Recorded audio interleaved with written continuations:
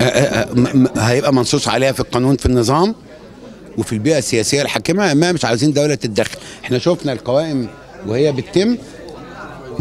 بعض الأجهزة لعبت أدوارا أكتر من كل الأحزاب السياسية؟ هذا أمر لم يعد مقبول. ان جهاز في الدولة يشتغل مع وضد. سيبوا الناس تختار. إدوا فرصة لاختيار حر. إدوا فرصة لتنوع في البرلمان. لأن اللي مش هيلاقي له صوت في البرلمان هيطلع الشارع.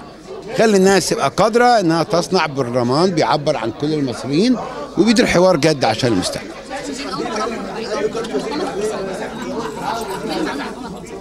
أنا اولا أرجو إن المؤتمر ينجح في جذب مزيد من الاستثمارات لمصر. بأكد إن الاستثمارات ضرورية جدا لهذا البلد. لكن من المهم إن لا تؤدي لنمو اقتصادي وإنما تؤدي إلى تنمية اجتماعية شاملة. إحنا مش بس محتاجين نمو اقتصادي بالارقام إحنا محتاجين تنمية تدي للناس حقها في أكل العيش والعمل الشريف والأجر العادل وحقوقه كعامل وفي إنه يتعلم ويتعالج بطريقة صح. ده هي العدالة الاجتماعية. قبل كده جربنا ان هو وصل ل 7% وكان بيقع في حجر شوية الأغنياء اللي في البلد اللي نهبوها والشعب قام بالثورة ضدهم. لا نريد تكرار مأساة. مزيد من تدفق الاستثمارات يساوي مزيد من غنى الأغنياء وفقر الفقراء. عاوزين تنمية؟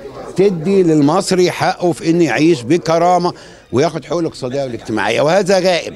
لا نسمعه من رئيس الدولة ولا نسمعه من الحكومة ولا نسمعه في برامج